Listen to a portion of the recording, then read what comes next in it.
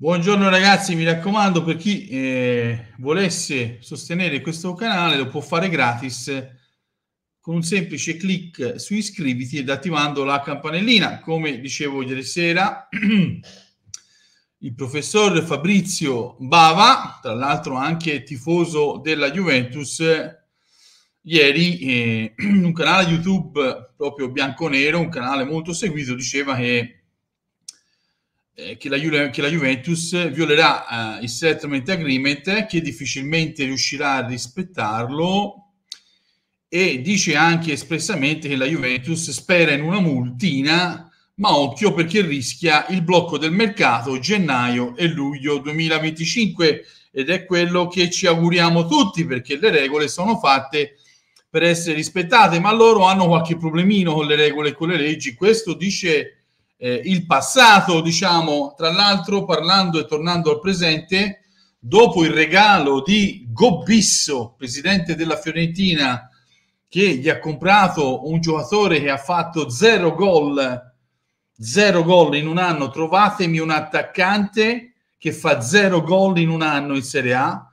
Secondo me non era mai successo, tranne vabbè, qualche ragazzino della primavera tramite il regalo di Gobbisso, eh, la Juventus molto probabilmente si porterà a casa un altro grande giocatore, non ho problemi ad ammetterlo, che è Kefren Turam, giocatore che a me piace tantissimo, lo avrei voluto all'Inter, non mi rimangio quello che ho detto, ma grazie al regalo di Gobbisso eh, gireranno i soldi molto probabilmente a Nizza e si porteranno a casa Turam che è a scadenza di contratto, quindi Turam non può andare in prestito da nessuna parte perché è in scadenza 2025. Eh, non voglio entrare in nessuna polemica. A parte questo, la Juventus, secondo calcio e finanza, con i due bambini nell'operazione Douglas Luiz, registra due maxi plusvalenze e, no, e non solo, non è finita qui. E chissà come mai, sicuramente, non so, sarà stato un caso, ma Douglas Luiz, ripeto, c'era il Manchester United pronto a mettere 80 milioni sul tavolo fino a qualche mese fa, non solo non rimane in Premier, perché non lo voleva solamente il Manchester United, lo voleva anche il Bayern Monaco, lo voleva il Manchester City, non solo rimane in Premier, viene in Italia, con tutto rispetto per il campionato italiano, che a livello tattico è ancora uno dei primi al mondo, ma a livello qualitativo eh, è quello che lei è il campionato italiano.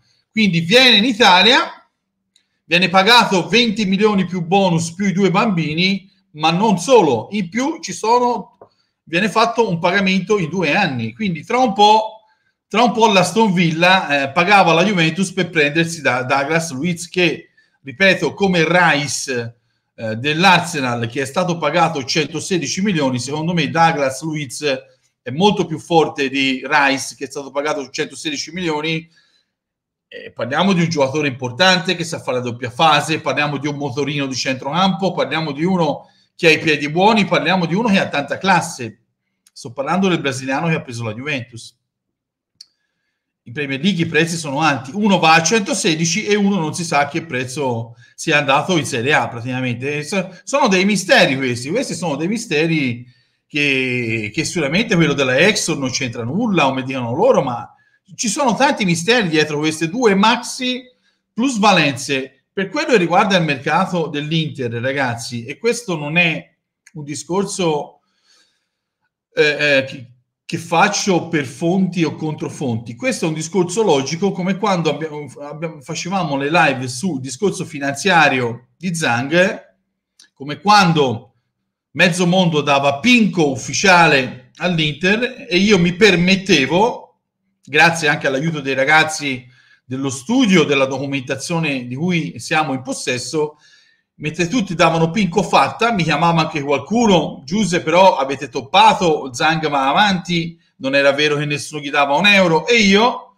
facevo i video ironici su pinco pinco, io, e ci sono ancora questi video, sono ancora online, io dicevo pinco non è una onlus, pinco non darà un euro a Zang, pinco non presta i soldi ed è quello che poi è successo.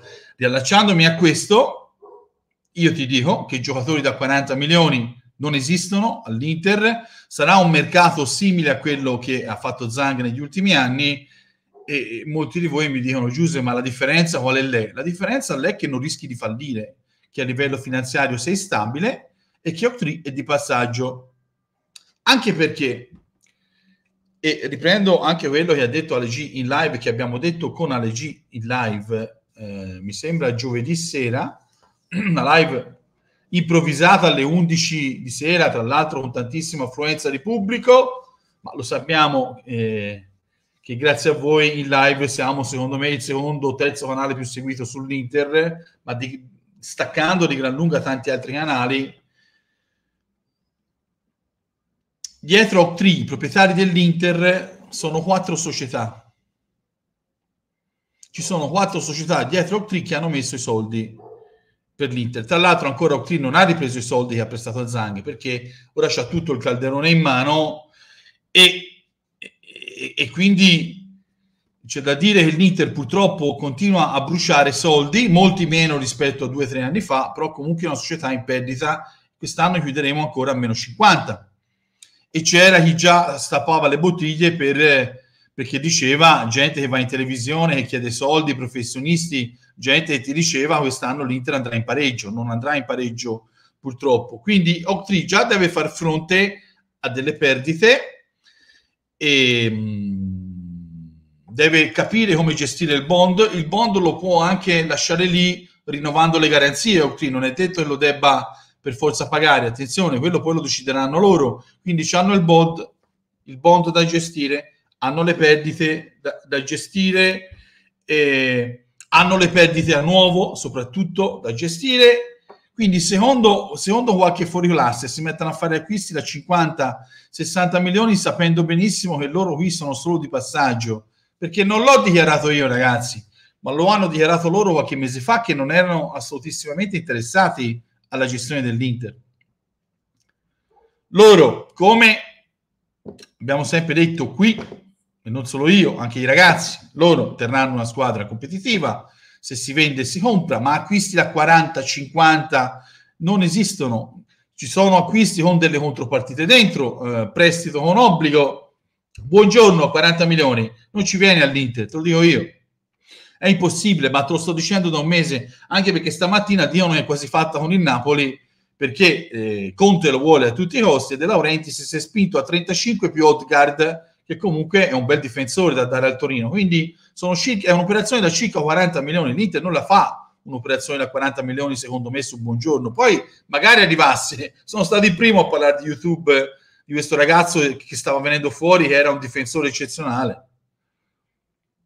Eh, che Frenturam, purtroppo, anche lì servivano 20 milioni cash, non potevi dargli contropartite. Purtroppo mi sa che va alla Juve.